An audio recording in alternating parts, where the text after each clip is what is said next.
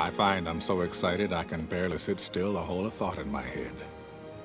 I think it's the excitement only a free man can feel. A free man at the start of a long journey whose conclusion is uncertain.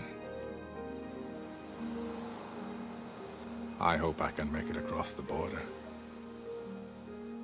I hope to see my friend and shake his hand.